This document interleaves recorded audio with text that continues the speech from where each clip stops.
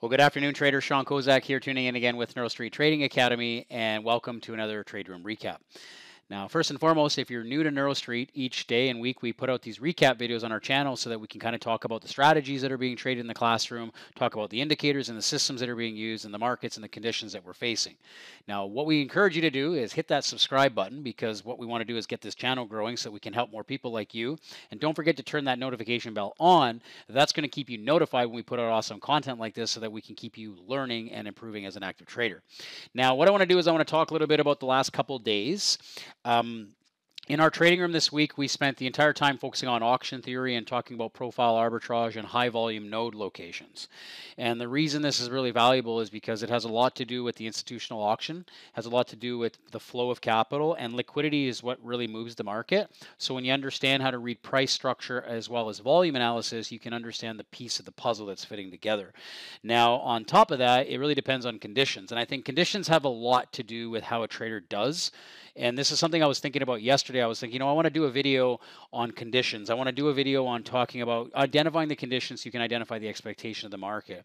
And the last two days, we had some really strong trending days. Uh, and what happens in those days is the market can really give you a lot of follow through for directional strategies. And after yesterday, we had a really big trending day, and then today became an inside day. And on an inside day, the markets don't move that much. You get a lot more churn, you get a lot less uh, volatility in the market, volume drops a bit, and you got to be more specific with how you manage the trades. And so, in those types of conditions, today was a great idea, a great day for base hits. Um, I took my first trade out the gates was a small stop loss. I managed the break. I managed the stop to be less than my full stop, which was a decision on management. And then the next trade I took on the S&P was a win. I was able to bank out T1, and then I pulled my stop in for a much bigger break even, uh, plus a few ticks for commissions.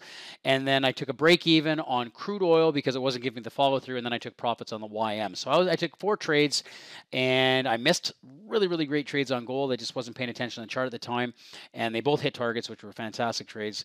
And really all of the stuff that I'm doing in here is talking about keeping you guys aware of how to read structure, how to read volume, how to read directional auction patterns, and really just how to think on your feet, right? Uh, trading is about being able to think and being able to improvise in the changing dynamics of a market, and that's exactly what we do here. So uh, I'll go over the trades. I want to go here. Let's take a look at the the YM trade, and the interesting YM trade at this morning was I actually ended up trying to get short off this point of control in here. I took a short off this point of control, and I had my stop loss up here. But then as this market kind of came in and we didn't get any follow through and then it came back up, I just said, you know what, I'm just going to take my exit because I don't want to get in caught against counter directional markets. And it was a good decision because they blew through and I would have had a full stop and I took I took less of a stop. So I was able to cut my loss by less, which is a is a decision on good trade management, really. And so the next trade out the gates was the S&P. I took a short off the S&P. Now the auctions look a little different now because the markets move throughout the day.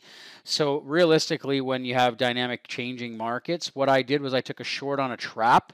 So this was a trap environment, and this this short ended up giving me my first target. And then uh, actually, I actually I took my first target down here and then I moved my stop down here and I just closed out of the position. So I did get a decent trade out of that. I was able to get a small base hit out of that market, which is fine. And uh, and then the next trade after that was crude oil. Crude oil just wasn't giving me any love. Like it, it would have eventually given me my profit, but I didn't want to sit through this. And what happened was I ended up getting short at the point of control. It was a trap trade that got I missed the trap fill here, which would have given me a little bit of a base hit, and came in to fill the point of control. My stop loss was originally up here but then the auction shifted to a P, and I'm not interested in trading short against P shifting distributions. That's just a dangerous play because then the market's trying to shift value off the lows, and this is almost looking like an inverse head and shoulders. And if they break up here, you can see the pattern here. Boom, boom, boom. I don't want to be short something that's trying to squeeze. So in that regard, in that regard, what we do is we just close out. I just closed out. I didn't end up getting anything. I just I'm fine with that. And then the next trade I took was the YM, and I actually just took this trade, and uh, I probably could have stayed in it, but I took my first target and I moved my stop to break even because I just I wasn't you know, as a weaker market, the conditions here a little bit slower. So I took my first hit. This was a really good trade because at the time it was the point of control at the ARB level. And we were we had an up structure So price came up, came down, hit the ARB level. I got my first target up here, and then I just closed out of the position because I just didn't want to take any further heat. And I was going into the lunchtime, and I'm just like, you know. But you can see that it did come back to test support again, and it is going back up. And I think there's a potential for them to actually lift the market here on this trade. So I took that thousand dollar loss that I had on the YM, and I shaved off 600 of it, and I was able to make back some cash. So I am waiting on two trades. I I'm, I'm up just a very small base. I consider this a flush day for me, right? But in situations like this, where's the next opportunity? So this is really something I've got my eyes on here, guys. I uh, this was a counter trend trade that I did. I was planning on shorting here. I had an order here. It didn't get filled. I won't touch this now because it's a test of that volume. And what this is, this is realistically uh, a really good opportunity to short. This was a trap. It came in, hit the node on the trap this was a trap here because this is a pocket that the market could trade through, hit the first high volume node at a daily resistance level and sold off. Counter trend, that's what I was looking at trading, but I didn't get the fill. So I won't touch this again because the market did not come up there. Now, on the other side of it, I'm waiting for them to break down actually a little further. I'm actually I, I, I might miss this little rally that's going on in the Nasdaq, and I'm fine with that. But where the real big opportunity lies for me is this blue box down here. And I'll explain what this is. This is what we call a market trap. And a market trap is when you break the lows of structure only to go into a trap on another support below it. And so this is a trap in here. And what we look for in those traps is we look for the high volume node in the trap. That's where you want to get ripping because those are the trades that nobody really knows exist. Those are the trades that nobody can see it. Everybody can see the lows of the wicks, but they don't see the trap, and they don't see the node in the trap where the big money sits.